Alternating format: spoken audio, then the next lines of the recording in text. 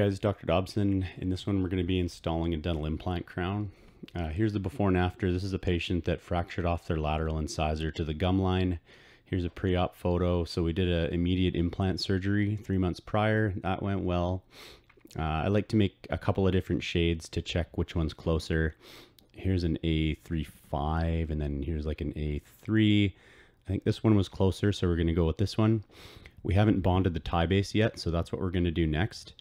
Uh, gonna rinse and dry the intaglio and then prime it with the ceramic primer, dry it, leave it for a bit, and then we'll bond our Ti-base. I use these little Aurum Ti-bases from DESS, and I'm cementing it using Panavia V5.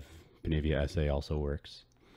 We'll uh, we'll coat the Ti-base and then uh, place it in the uh, abutment cavity.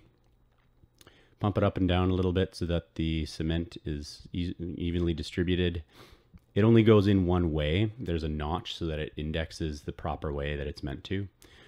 We'll tack cure the um, excess cement and then clean it up from the collar and then uh, give it a couple more shots with the Valo.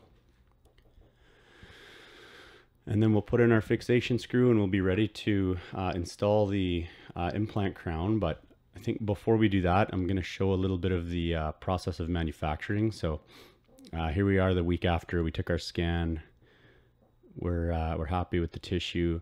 I, I did use a tissue level implant. Lots of people say you can't use tissue level in the anterior, but I beg to differ. So the, uh, the scan process, basically we get them in, we take a scan, we put in the scan flag, take another scan, take an opposing and a bite. I send that to my designer and then I mill out the product. Here's the mill on time lapse with some other cases. And then there's a final final product. It's uh, Argan STML multi-layer. And then I put some stain on it. So here we're gonna install the uh, the crown. It's an octagonal platform. It's a Straumann compatible uh, system. And there it goes. You, you just saw it drop down into the into the platform. And we're gonna just finger tighten it with the driver here. You'll see the tissue blanching, which is normal. And then we'll begin torquing it down. I'll usually torque it down to 15 or 20 first. Torque it down there. No freezings required for these appointments. Tell the patient that they might feel a little bit of pressure. And then we'll um, we'll adjust the torque wrench to 35 NCM spec and then finish torquing the, uh, the implant crown down fully.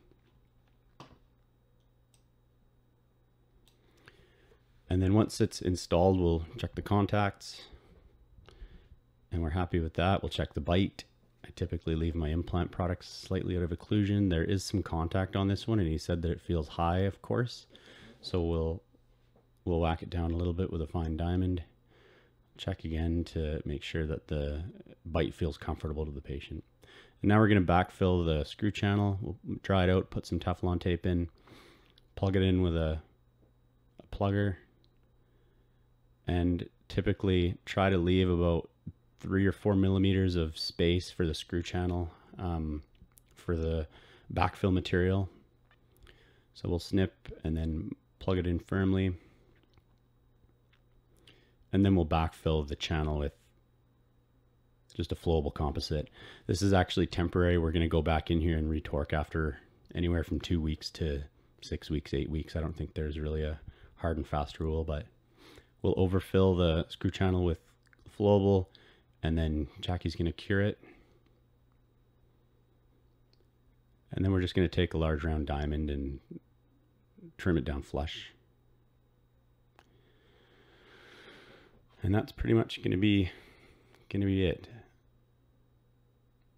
I think we made him a flipper in the meantime uh, when we did the immediate surgery, which he I don't think he used all that much, but he was happy with the result here.